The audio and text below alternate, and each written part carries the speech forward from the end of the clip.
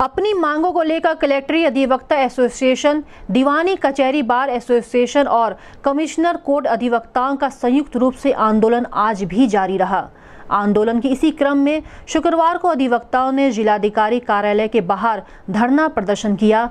इस दौरान अधिवक्ताओं ने अपनी मांगों को लेकर जमकर नारेबाजी की। अधिवक्ताओं का कहना है कि जब तक उनकी मांगे पूरी नहीं होती हैं, तब तक उनका आंदोलन लगातार जारी रहेगा। बैठक में दीवानी कचहरी बार एसोसिएशन के अध्यक्ष अभिमन्यु पांडे, मंत्री प्रियानंद सिंह, अधिवक्ता एसोसिएशन के अध्यक्ष कृष्ण कुमार त्रिपाठी, मंत्री Ravindra Kumar Srivastava the commissioner court association के अध्यक्ष अखिलेश्वर शाही सहित कई अधिवक्ता मौजूद रहे। गोरखपुर न्यूज़ से बात करते हुए जिला अधिवक्ता एसोसिएशन के अध्यक्ष के के त्रिपाठी ने कहा। जिंदाबाद जिंदाबाद जिंदाबाद इनकलाब जिंदाबाद जिंदाबाद। जिंदाबाद जिंदाबाद। जिंदाबाद जिंदाबाद। अधिवक्ता एसोसिएशन जिंदाबाद। जिंदाबाद जिंदाबाद। जिंदाबाद। जिंदाबाद एकता जिंदाबाद। अधिवक्ता एकता जिंदाबाद। अधिवक्ता एकता जिंदाबाद अधिवक्ता एकता जिंदाबाद। वापस लाओ वापस लाओ। इतने दिनों में।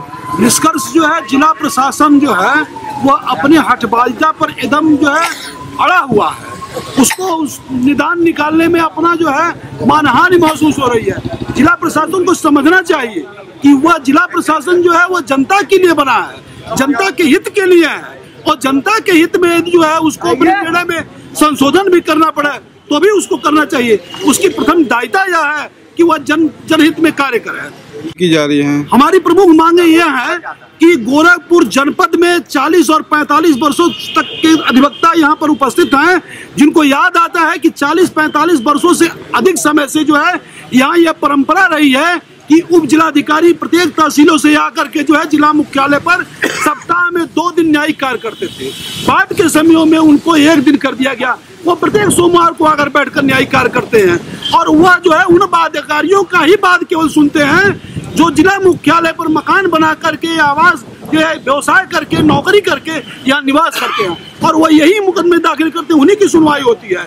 उन बाध्यकारियों के मुकदमे वह जो है तहसील मुख्यालय पर भेजने के लिए और उनको सुविधा प्रदान करने के लिए उनके मुकदमे यहाँ दाखिल न हो, उस हटबाजता पर अड़े हुए हैं। जबकि यही आजमगढ़ ज़िले में जो है ये व्यवस्था आज भी कायम है कि जिला मुख्यालय पर जो है एस लोग दो दिन बैठते हैं। और इसके संबंध में मैं बताना चाहूँगा मीडिया के माध्यम से कि आजमगढ़ ज़िले में उन्नीस सौ नब्बे इक्यानवे के दौर में इसी तरह से एसडीओ लोग वापस भेज दिए गए थे, जिसमें जो है आजमगढ़ ज़िले के अधिवक्ता और आजमगढ़ ज़िले के अधिवक्ताओं के अलावा ज़िले के, प्रदेश के तमाम अधिवक्ता संगठनों ने इस आंदोलन को जो है व्यापक स्तर पर किया और निर्णय लिया है कि हमारी परंपरा बादकारी के हित में जब तक उप जिलाधिकारी के बैठने की व्यवस्था वह पूर्व बहाल नहीं रखी गई तक हम आंदोलन को जारी रखेंगे। आवश्यकता पड़ेगी तो हम इस आंदोलन को इस ज़िले से जो है ले जा करके मंडल स्तर पर और प्रदेश स्तर पर हम ले जाएँगे। लेकिन इस आंदोलन में जो है हम पीछे नहीं हटेंगे। जब तक अधिवक्ता जो है ये बातकारी के हित की इस व्यवस्था को पुनर्स्थापित नहीं करा लेगा तब तक आंदोलन जारी रखेगा। सरकारी कार्यालय परिसर साइलेंट जोन के अंतर्गत आता है और आप लोग यहाँ पे माइक लगा के नारेबाजी कर रहे हैं।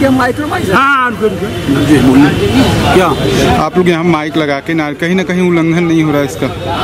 नहीं हम लोग जो है अपनी बात जो है लोकतांत्रिक तरीके से कर रहे हैं। हम कोई बात जो है जो भी कर रहे हैं वह नियम कानून और लोकतांत्रिक तरीके से कर रहे हैं।